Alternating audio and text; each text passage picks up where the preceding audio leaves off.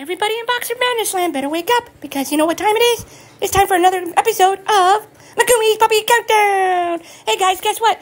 Check it out. I am in my whelping box and I put up a sign. Beware guard boxer on duty. Who's guarding the who? Who's the guard boxer? Well, I, I haven't technically hired anybody yet. I put out a notice online and I'm waiting to do some interviews for the guard boxer position. So you put out a notice that you're hiring for a guard boxer, and you're you're what? You're going to do interviews today? Yeah, I got to do interviews today. I got two applicants, and look at they have to look at that poster and they have to tell me that they can be as good as Mama Gracie and Uncle Leroy. That's why I got the poster up there. It's part of the test.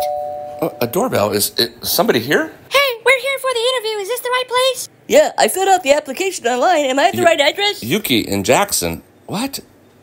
Megumi, you're going to interview Yuki and Jackson for the guard boxer position? Well, I mean, they, they were the only ones that applied when I when I when I put the ad online. Okay, I'll, I'll leave you guys to it. Tell me how it works out. Thanks for tuning in to Megumi's Puppy Countdown. 20 days to go.